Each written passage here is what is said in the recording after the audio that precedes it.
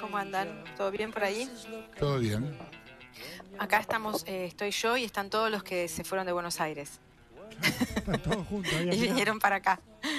Eh, les cuento que la ruta era como un caos increíble para venir para la costa, así que a, a todos los oyentes que planeen venir vengan con mucha paciencia.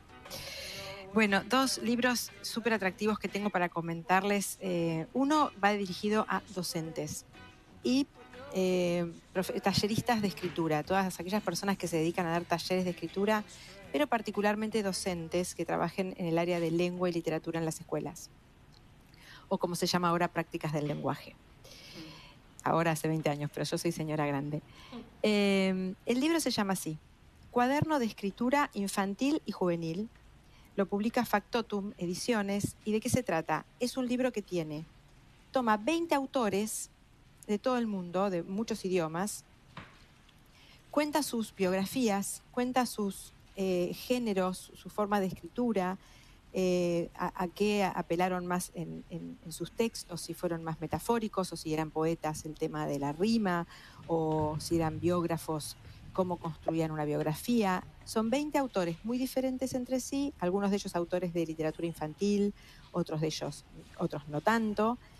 ¿Y qué, es- qué hace eh, la, este, este libro? Toma a estos autores, repito, los, los pone en, en- un contexto para que lo leamos y sepamos quiénes son, y luego hace 70 ejercicios de escritura a partir de cada uno de ellos.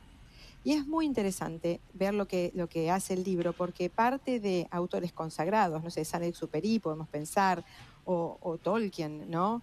Eh, eh, que, eh, J.K. Rowling, la autora de, Harry Potter, y de cada uno de ellos saca como su esencia, lo que los hace bien particulares y, bien únicos en su género, y luego te hace a vos, como en, los ejercicios, continuar, reescribir o pensar qué, qué hubieras hecho vos en ese contexto, con esa imaginación, o cómo te imaginarías vos el mismo libro. Obviamente que va a tocar el principito, pero uno de los capítulos más bonitos que tiene es el de un autor que a mí me gusta muchísimo, se llama Maurice Sendak, que fue muy famoso por un libro infantil que se llama, eh, bueno, por muchas cosas, pero hay un libro en particular que publica en 1963 y que lo lleva, digamos, a la... al- a, a uno hoy sigue siendo como uno de los libros infantiles, ya un clásico de la literatura infantil, un cuento que se llama Donde viven los monstruos. Donde viven los monstruos es la historia de un nene que se llama Max, que la madre lo va a mandar, lo, manda a dormir sin comer porque se porta mal. Y, bueno, y él cuando entra en su habitación, solo, enojado, la madre lo reta y le dice que bueno, que no baje hasta que se le pase. Bueno, es muy lineal el libro, tiene tres líneas, de verdad, es muy cortito. Y cuando él entra en su habitación, Max se entra en un bosque, con su imaginación, claramente, no, tengo que aclarar esto, pero es, es muy lindo lo que pasa, en donde viven monstruos.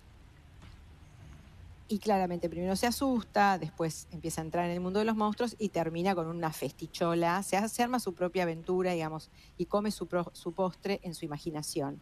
El libro se llama Donde viven los monstruos. Entonces uno de los ejercicios, por ejemplo, es que vos te imagines en esta gran fiesta que hicieron los monstruos, qué hicieron, ¿no? Y que te imagines la fiesta, que no se cuenta en, en el libro. Bueno, así va pasando por un montón de ejercicios muy, muy atractivos, muy creativos, muy simples. El libro es un libro cuaderno, con lo cual vos escribís en el mismo libro. El libro tiene páginas con líneas para que escribas allí, que le pongas una fecha como si fuera un diario de escritura. Y como proyecto para un, para un colegio o para un taller de escritura, sobre todo infantil y juvenil, es precioso porque es muy divertido, muy creativo y sobre todo tiene algo que para mí es muy importante que es que hace que vos vayas a leer los autores. Porque acá te cuenta quién es el autor, un poquito te da una pauta, te pone un, poquito un textito, pero es un puntapié muy interesante para los profesores para decir, bueno, ahora vamos a leer, ¿no? Vamos a, leamos ahora a, a Rowling, o leamos a Tolkien, o leamos a Lewis, leamos a Saint-Exupéry. Vayamos a ver qué hace en su libro. Entonces se puede armar un gran proyecto, lo recomiendo muchísimo, se llama Cuaderno de Escritura Infantil y Juvenil, lo publica Factotum Ediciones. 20 grandes autores y 70 ejercicios de escritura. Precioso libro.